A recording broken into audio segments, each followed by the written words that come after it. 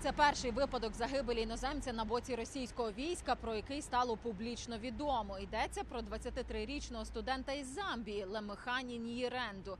До Москви хлопець приїхав за замбійською рядовою програмою навчатися проєктуванню атомних установок в інженерно-фізичному інституті. Це звичайна практика для Замбії відправляти своїх громадян на навчання до російських вишів. Щоправда, студентське життя Ніренду закінчилося два роки тому, коли його впіймали із клубним наркотиком мефедрон.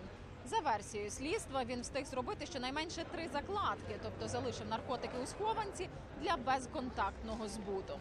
Тож останні кілька років африканець перебував за ґратами у Тверській колонії, де мав відсидіти загалом 9,5 років. В міністерстві Замбії уявлення не мали, що хлопець опинився за межами Росії та ще й прямісінько на полі бою. Тож країна вимагає відповідей. У зв'язку з цим вкрай сумним розвитком подій уряд Замбії вимагає від російської влади терміново надати інформацію про обставини, за яких замбійський громадянин, який відбував тюремний термін у Москві, міг бути завербований на війну в Україну і після цього загинув. Батько Лемехані переконаний, його сина підставили. Він не наркоторгівець. Мовляв, хлопець підпрацьовував у Москві кур'єром і не знав, що у посилці наркотики. А на війну сина завербували просто в колонії, але більше деталей каже, не знає. У російській приватній воєнній компанії Вагнер навіть не приховують, що відправляють ув'язнених гарматним м'ясом на передову. А до українського полону вже потрапляв зек із Тверської колонії, завербований вагнерівцями. Родичі замбійця хочуть приїхати на опізнання тіла. Його, начебто, доправили до Ростова на Дону і звідти збираються репатріатувати на батьківщину.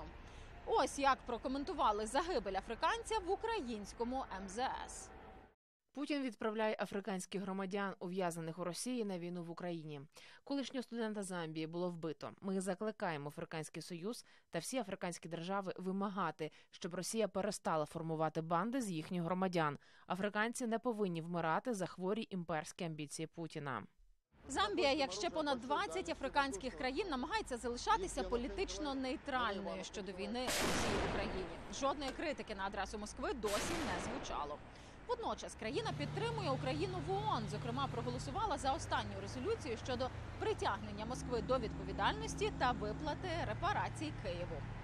Традиційно російський вплив у Африці значно потужніший аніж український, але війна в далекій Україні стає все ближчою до африканського материка. Спочатку блокування портів ледь не спричинило масовий голод, і ось перша втрата на полі бою.